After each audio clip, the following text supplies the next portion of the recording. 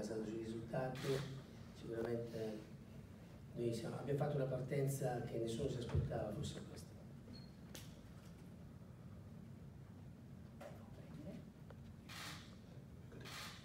Jó estét kívánok, hallanak?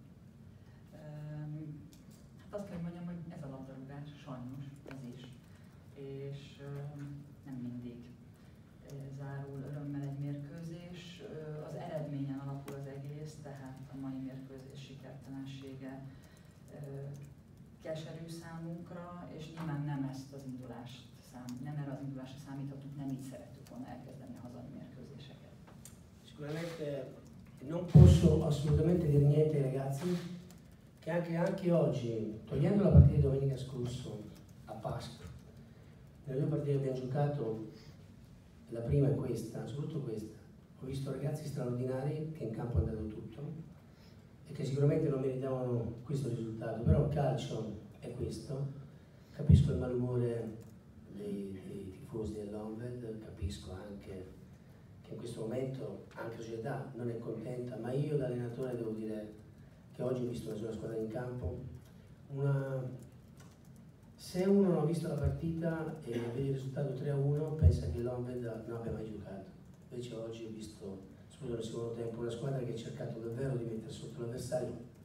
poi sono degli errori che,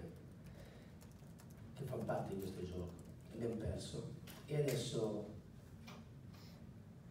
Adesso è normale che è tutto buio, ma io sono sempre convinto e consapevole che la fortuna prima o poi può anche girare. Io non parlo di fortuna calcistica, a volte anche l'ultimo episodio del portiere fa parte di questo mondo e, non è assolutamente eh, Orbat eh, un, un giocatore dove io debba arrabbiarmi per quello che ha fatto, anzi io ho detto grazie a tutti i ragazzi per quello che saputo fare oggi in campo quello che ci hanno, ci hanno messo anche quelli che sono entrati nel secondo tempo.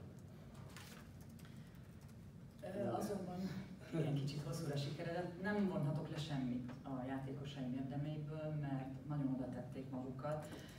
kicsit tekintsünk el a múlt heti paksi vereségtől. Én úgy gondolom, hogy azzal a játékkal, amit ma produkáltak, nem érdemlik meg ezt a vereséget. Én tökéletesen megértem, hogy a szurkolók ma elégedetlenek és boldogtalanok, és azt is megértem, hogy a a,